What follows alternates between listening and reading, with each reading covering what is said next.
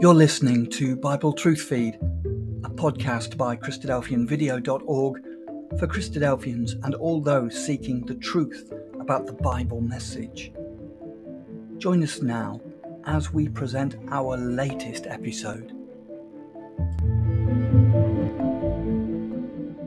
What I'm going to do is I'm going to start with the map because tonight we want to end up in this little place up here, which is in Greece, in Macedonia, called Philippi. Now, Paul, when we, when we read this chapter in Acts 16, Paul is on a journey and he's coming up through this part of the world here, which we would call Turkey. And he, it was called Asia at the time. He's coming up through here and he wants to go up around here and do some preaching of the gospel up around here. But he found that the Holy Spirit prevented him from going to that part of the world. And he didn't understand why. But it frustrated him in some way. And then one night, in a vision, in a dream, Paul sees a man from Macedonia, a man who was obviously identified as Greek, that Paul could identify as a Greek. And this man said to Paul in a dream, Come to Macedonia and help us. And he knew that that dream was from God. So he immediately made preparations to leave this area of Turkey here. And he came across here and made his way up to Neapolis and then up to the city of Philippi because Philippi was, was the chief city in the area of Macedonia. Now, Philippi was what they call a colony. Now, I don't know heaps about this, except for the fact that if you lived in a colony of Rome, you enjoyed all of the rights in that colony that you would have experienced in Rome, which was the capital of the world at the time. So, over here in Philippi, in this beautiful part of, of the world. I'm assuming it's beautiful because it seems that lots of retired army generals or lots of army chiefs and Roman officials made their way there and retired there because they kept all the privileges as if they had been in Rome, but they got to live somewhere that was obviously nicer.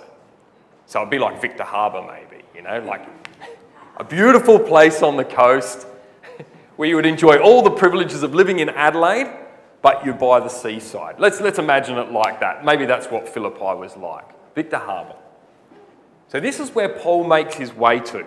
And this is where we find in verse, um, in verse 12 of the chapter we read tonight. He came to Philippi, which is the chief city of that part of Macedonia and a colony and they were in that city abiding certain days. So they stayed in this city for some time. Now, does anyone remember from, from the lessons, and feel free to answer this question, anyone who wants to, does anyone remember what the first thing that Paul did, or what was the first place he went to when he got to a city, usually? Jaden? Right, he went to the synagogue. And why did he go to the synagogue? Yeah? There wasn't a synagogue. Is that true? How do you, how do you know? Right, he's got it right. He's got there ahead of me.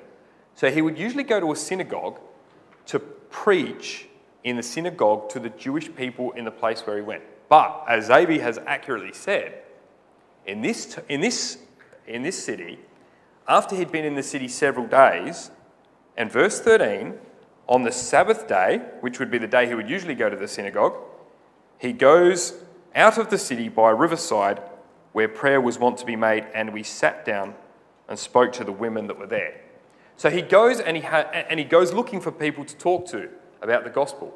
And he finds a group of women on the riverside who are willing to have a chat about the gospel. People who went there for prayer. So they're obviously of some spiritual persuasion. They had some connection with God. We don't know what that was at the time. But they were people who were believers in a message and a, and a believers in God. And Paul decided to speak to them. And one of the people who was in this city, I'm just going to spin this around now, so we'll have to go away from the map. We'll bring the map back later. Was a lady called Lydia. And it tells us in this chapter here, it tells us up in verse 14 that she was a seller of purple, she worshipped God, and that God um, had opened her heart and she attended to the things that were spoken by Paul. So this lady was a seller of purple.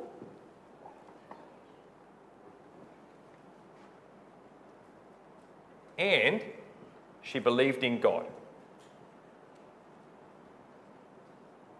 Now, as far as I understand, and correct me if I'm wrong, purple dye was quite hard to come by in, the, in these days because the way that purple dye was made was they got these little sea snails out of the sea, and I think they're quite small, and you had to get a lot of them, and you crushed them, and with the juices from the snails, you made the purple dye. So it was a very labour intensive method of getting a colour for material. And that meant, because it was so labour intensive, that it cost a lot of money to buy. So whether you were buying the dye or whether you were buying the material dyed that purple colour, you had to be quite wealthy to afford it. So this lady ran a business, either selling the dye itself or the, or the material that was purple, but she was dealing with wealthy customers, royalty, possibly, people of, people of like very high standing within the community at Philippi. They were the sorts of people that this, this woman Lydia was dealing with on a day to day basis, and she was providing them with this rare purple dye or this rare purple material for their garments. And she was quite used to dealing with them and running this business. And she believed in God. Now, when she heard the message of the gospel that Paul taught her, she believed, not only her, but her whole household. And they became part of that first group of people that were baptized into the name of the Lord Jesus Christ in Philippi. Lydia and her house. And then, if you look at the end of verse 15, after she was baptized and all of her household, she says to Paul and Silas, If you have judged me to be faithful to the Lord, come into my house and abide there. And she constrained them. So she goes and she shows, goes out of her way to show hospitality to Paul and Silas and to invite them into her house. Now, Paul obviously is going to continue here for a while.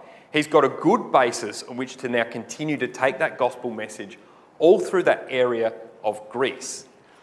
And he goes often to the riverside to meet with people who go there to pray.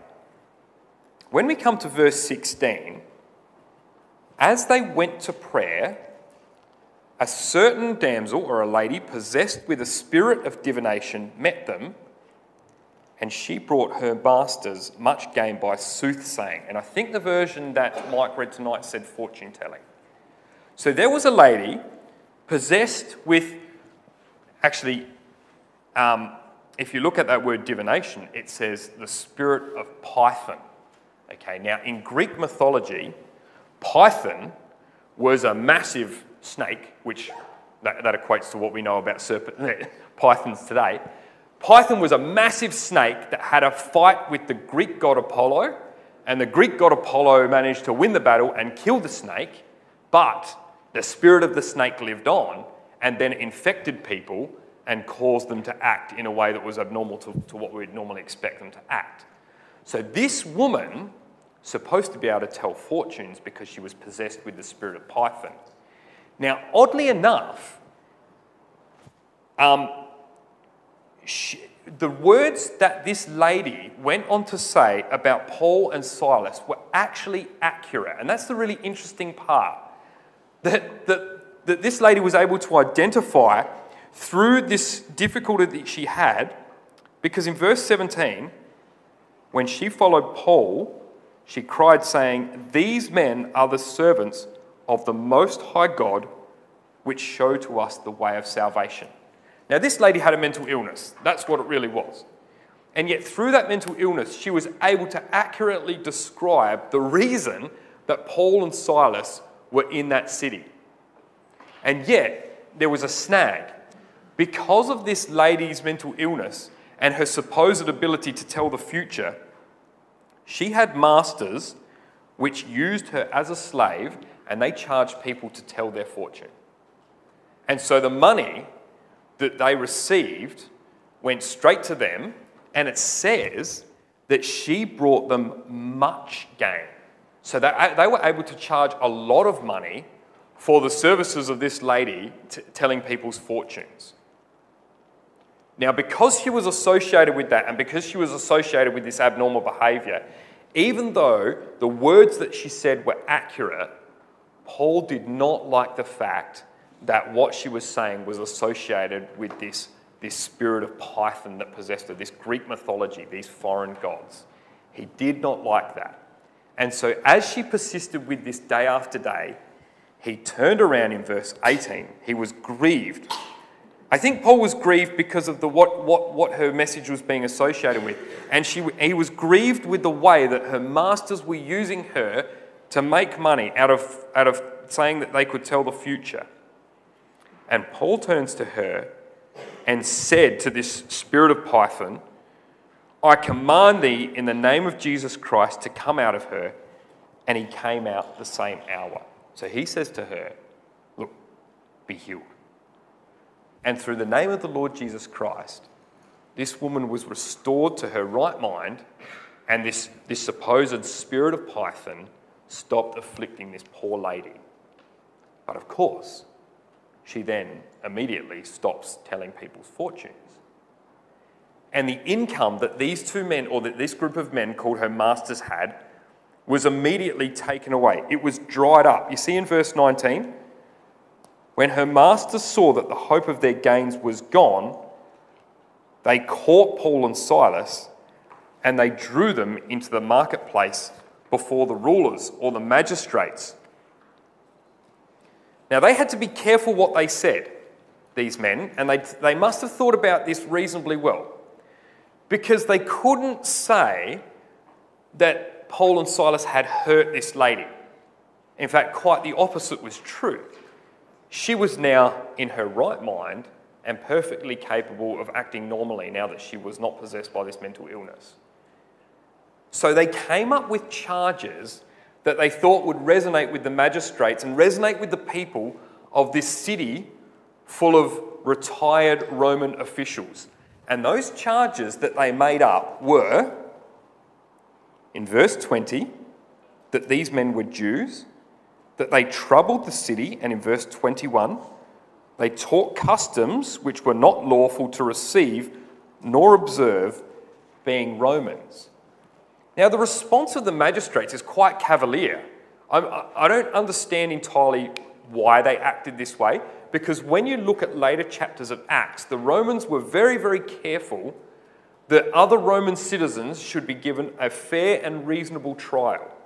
Towards the end of, uh, end of Acts, the governors are very, very clear that they want to hear both sides of the story and they want to have charges that are able to be proved before they send a Roman citizen for punishment. But here in this thing, the magistrates seem to leap out of their chairs, they, they rip off their clothes, and then they hand these two men over to the people who were responsible for administering punishment. And they got out the sticks and they beat Paul and Silas there in front of them with large sticks. Now it seems quite an unreasonable response to healing a young girl from a mental illness.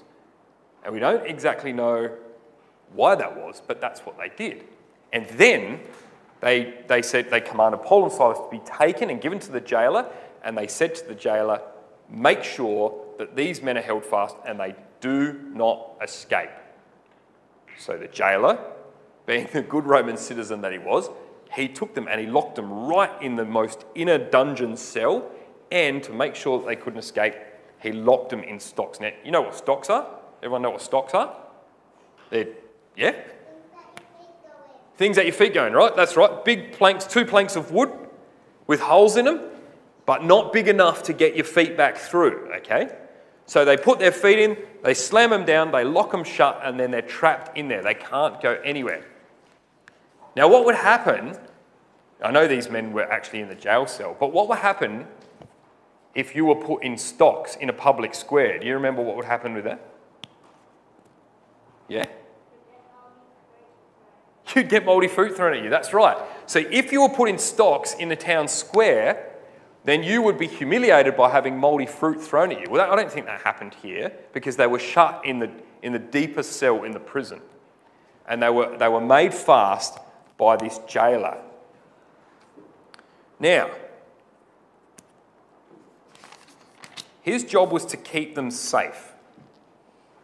The funny thing is that when we come and read verse 25, and this is where we really start to get into this story, this is the important part of the story. In verse 25, after these men have been beaten with rods many times, it says, and they were given to a jailer who threw them into the middle of the jail and locked them in stocks, in that pain and in that horrible situation, Paul and Silas, in their helpless state, turned to God. And they turned to God in two ways. The first way was that they began to pray together. That's verse 25 there. At midnight, Paul and Silas prayed. And the second thing that they did is that they sung praises to God. Now, if the magistrates had acted in an unreasonable and a most odd manner, then these two men had taken that even further and were acting in a most even more unreasonable and an even more odd manner to what you would expect naturally. They prayed and they sang praises to God to strengthen themselves and to encourage themselves in this really difficult time. And the prisoners around them heard what they were doing. And that's the key there. The prisoners around them heard what they were doing and wondered at these two crazy men what on earth were they doing? And we're not told why they did it at all. We're not told why they did it at all, except for the fact that they drew strength from that because God had put them in that situation, so He must have wanted them there for a reason. And they knew that.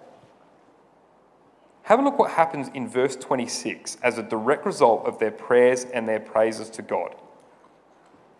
There was a great earthquake that shook the foundations of the prison. It caused all the prison doors to spring open, and it made everybody's chains and stocks open up so that in one instant, at midnight, in the dark, all of the prisoners were free. Now, I know what I'd do in this instant. I would have said, That's an answer to my prayer. And back in early Acts, if you can think about the early classes of Acts, when Peter was in jail, the angel came along and took off his prison, um, his chains, and opened the doors for him. And Peter willingly followed that angel, and they walked outside, and the angel set him free. And I would have gone, That's God's answer to me. I'm out of here. And I would have been out of that prison in a flash. Paul doesn't. Paul stays in that prison, and he manages to convince all of the other prisoners to stay in that prison too. Now, Paul and Silas were innocent of the crimes that they'd been accused. Most of the other people in that prison probably were not. There was probably some pretty hardy people in that prison. However, he managed to convince them all to stay in that prison. And what we find is that the keeper in verse 27 of the prison, the jailer, he stumbles out of bed and he sees the prison doors open and he must have had expected the prisoners to have the same thoughts that, that I would have had to get out of there as fast as he can. And when the jailer saw this,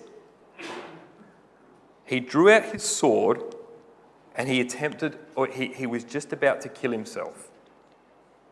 Now, at this point, the jailer believed that his life had gone so badly wrong that dying by his own sword was preferable to staying alive. That's, that's what the jailer believed, that there was no way out. And, the, and when, when you, this is where I want to stop and think, think a moment because lots of people in their life get to this point. And they get to this point for two reasons. They feel like that they've lost control of their lives to start with.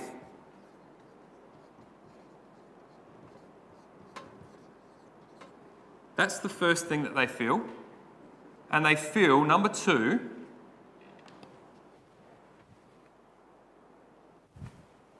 that their life is beyond recovery.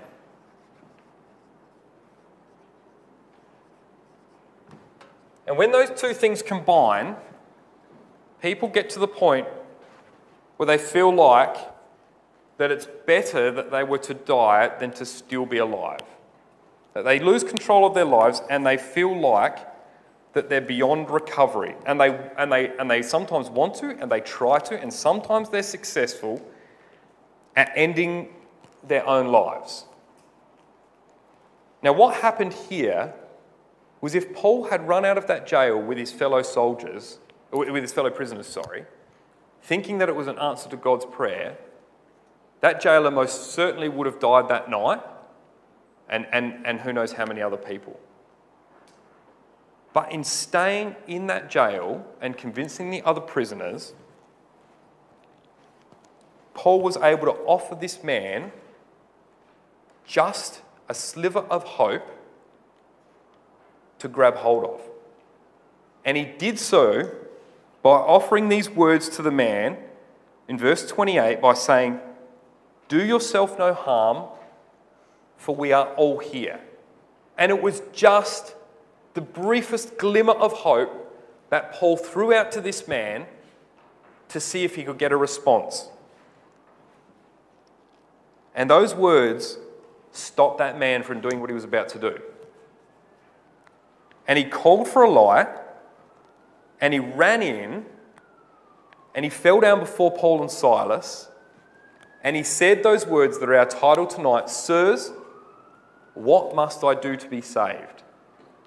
And that action of Paul staying in that prison and just saying the right words at the right time stopped that man and saved the person's life. And that's incredible, isn't it? That's absolutely incredible. Now, I, want, I didn't intend to go to this verse, but I, I want to take you back to um, a, a verse in Isaiah. Come back to Isaiah.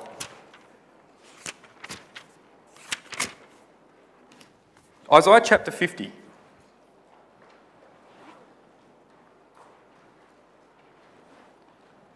Because sometimes we think that it would be really nice to be able to read people's thoughts because we could know what to say to them at the right occasion. But in preparing for this class, I, I had to think about that. I don't think if I could read people's thoughts, I would know what to say just magically like that. Knowing what to say to people, the right thing at the right time, starts like now. Trying to do it, even if we mess it up, trying to do that now. And here's, here's why I think that even if I could read people's thoughts, I wouldn't say the right thing. It's Isaiah 50 and verse 4. It says, The Lord has given me the tongue of the learned, that I should know how to speak a word in season to him that is weary. He wakens morning by morning, he wakens my ear to hear as the learned. If there's a reason to study the Bible or read the Bible and have it as a daily influence in our life, it's so that when those opportunities arise, I can have the tongue of the learned to say what Paul said to save a person's life. That popped out at me on Sunday in a way that I'd never seen in, in Exhort on Sunday. That the reason to have the Bible in our life is so that you can cast those slithers of hope to people who might be all that they need to grab hold of it and say, and to, and to stop their course of destruction of their life, to turn a life around and save a life. That's why the Bible is such an amazing book. It might not always work, it might not work every time, but if there's an opportunity, I'd love to be able to take it. So come back into Acts chapter 16 again. Because this man springs in and he says those words, What must I do to be saved? And the response from the disciples could not have been more ready on the tips of their tongue. Uh, it's over in um, verse 31 of Acts chapter 16. They said, Believe on the Lord Jesus Christ, and thou shalt be saved, and thy house. They gave him the message of the gospel in the middle of a dingy jail in the middle of the night by candlelight. That's how that man was saved. And at that point, there, he was convinced that he needed to change his life and he was willing to do so. He was willing to do so because he had been brought to a point where he realized that his life was hopeless. It, it held nothing. And he wanted something more than what he saw before him. He faced death he, on the brink of death, and he was brought back from that. And that's incredible. So, they spoke to him in verse 32 about the word of the Lord and all that were in his house, and then he took them the same hour. He washed them and their bruised and bleeding backs, and he gives them food, and he rejoices, believing in God and all his house. Oh, sorry, I skipped a step there. Verse 33. He was baptized, he and all his household, straight away. So now there is Lydia and all her household that form part of this group of believers, and now there is the jailer and all his household. And that could have amounted to quite a number of people, couldn't it, when you think about it? If there was extended families living together, if there, if there were um, you know, cousins living together or, or mothers and fathers and children, you don't know how many people it could have been, but it could have been quite a substantial number of people. And they taught him the gospel and they rejoiced. And Paul's actions saved this man's life now and gave him eternal life in the future as well. This man got his life back twice. And that's an incredible, from, from, from one small action and one small sentence, they convinced this man to change his life. Now, the thing that changed this man's life, or the point of change, came about when he experienced something. And I want to talk about this for a little while now. When he experienced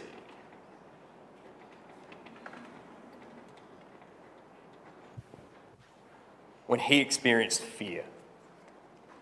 I want to talk about fear for a little bit. Because fear is an incredible motivator in some cases of our life. Let's come back and have a look at two verses in Proverbs that talk about fear. So, Proverbs chapter 9 is the first verse I want to look at tonight, and verse 10.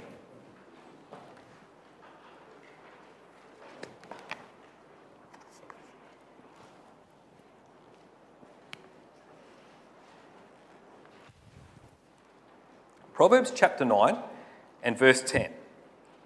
And this verse says, the fear of the Lord is the beginning of wisdom. The fear of the Lord is the beginning of wisdom. Now, if you go through the Bible, and I'm still, I'm still, I'm still collating this in my, in my head, I haven't got to the point where I've actually written it down anywhere. The number of faithful people who were brought to fear and trembling because of the circumstances of their life, and that prompted change in their life is almost universal. Every person at some point in their life will go through fear and trembling. Because God has the ability to reach down in our lives and reach right into the darkest recesses of our lives and poke right on a raw nerve that we didn't even know that God knew about and just nudge it, and He makes us fear and tremble. And that's a tool that God uses to get our attention. Let's have a look at Proverbs chapter 16. It doesn't say that God uses fear to save us, God uses fear to begin to save us. Now let's have a look at Proverbs 16 because there's an incredible verse in Proverbs 16, verse 6. So, fear, oops, is the beginning of wisdom.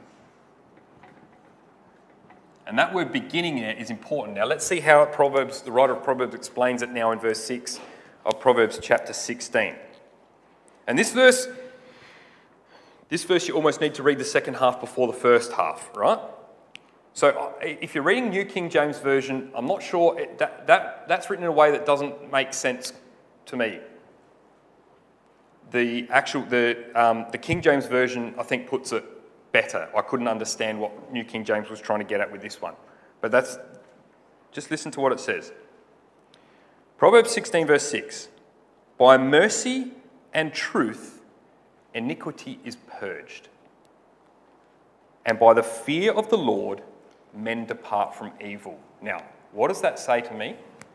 That says fear, God uses fear to help men depart from evil. So if a man or a woman is going in a direction that is evil, God can stop them in their tracks and turn them around using fear if he chooses. It's a tool that God has got in his, in his, in his abilities to use.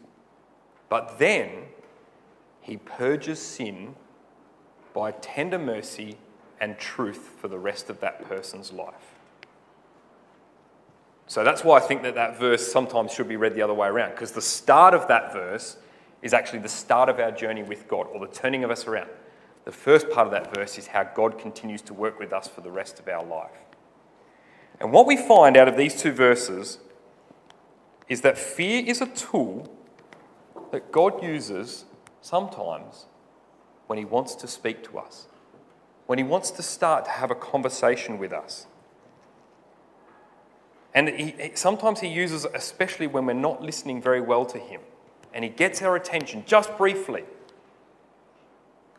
And then once we start listening, then we begin to learn the wisdom of God, and He then speaks to us softly again. It's almost like, as a parent, when you want to snap your child out of something and you say, Ollie, are you listening to me?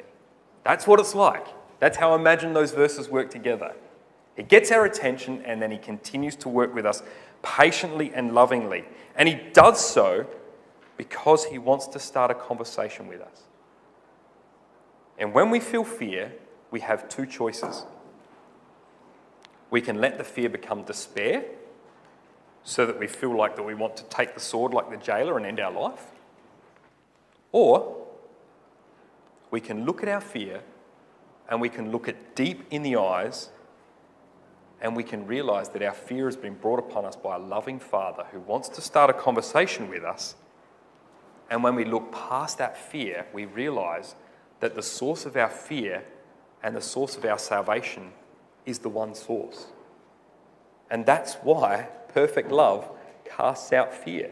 Because when we realize that the source of our fears is God Himself and the source of our salvation is God Himself, and we realize that the fear was there to bring us to the source of salvation, then we can overcome our fears. And sometimes we have to have courage to look our God deep in the eyes, to look those fears deep in the eyes, to see that that is what, what, what for, see it for what it is. And then there's only one question that should follow that. When we look our God deep in the eyes, what must I do to be saved? Because that's what follows the beginning. It's what must I do to be saved? And like, like the jailer, our fear can then become our faith. And that leads us into a relationship with our God. Now, you know, it's quite interesting, isn't it? Because back in Acts chapter 16, we had another group of people that experienced fear. And that was the magistrates who came to tell Paul and Silas that they could go out of that jail free the next morning. So, back in Acts chapter 16 and verse 35, when it was day, the magistrates the ones who had ripped their clothes off and commanded these men to be beaten, they sent some subordinates, some surgeons, to the jail saying, Go, go and tell the jailer, let these people go. We, we probably shouldn't have done that. and the keeper of the prison, he then told this to Paul, saying, The magistrates have sent to let you go. Now therefore depart and go in peace. But Paul said to them, You've beaten us openly, uncondemned. We're Roman citizens. You've cast us into prison, and now you're just going to sort of lift up the carpet and sweep it underneath? No. Let them come and fetch them out themselves. And the sergeants told these words to the magistrates, and they feared. They feared because they'd done illegal things and held illegal trials and beaten two innocent men illegally in front of the whole city against Roman law. And that carried serious consequences for these men. And they feared. What did they do? Well, they came down and they said to Paul and Silas, Look, we know it's an awkward situation, but could you go away and just make it just make everything go away. They were, they were not courageous enough, like the jailer, to look their fear in the eyes and ask, What must we do to be saved? They just wanted it to go away. They did, Paul made them feel uncomfortable. And instead of facing those fears and realizing that God was the one who could save, they took the message of salvation and they just said, can, can, you take it away, Paul? We don't want to hear about it anymore. It makes us feel awkward.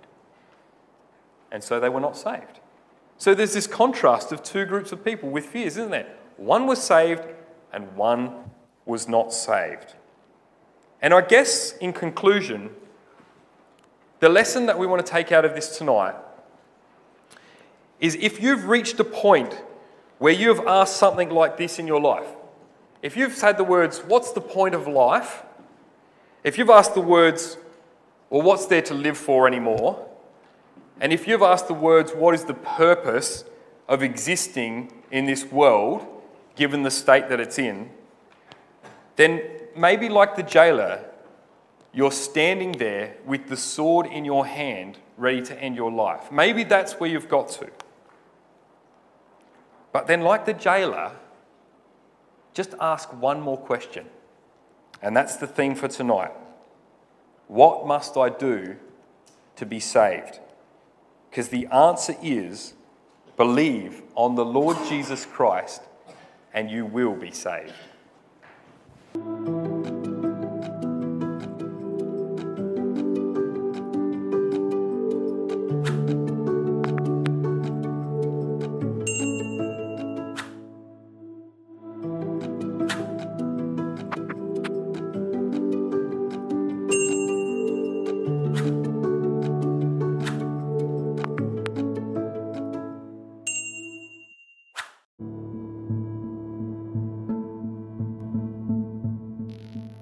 Thank you for joining us. We hope you found the episode helpful. Don't forget, most of these episodes are also available as videos on our video channel, cdvideo.org. So head over and take a look. If you have any comments or questions or suggestions, please get in touch or leave us a voice message. We love to hear your feedback. You can email us at bt f at cdvideo.org. If you enjoyed the episode, then please share it with others. Until next time, may God bless you in your studies and your walk towards God's kingdom. Amen.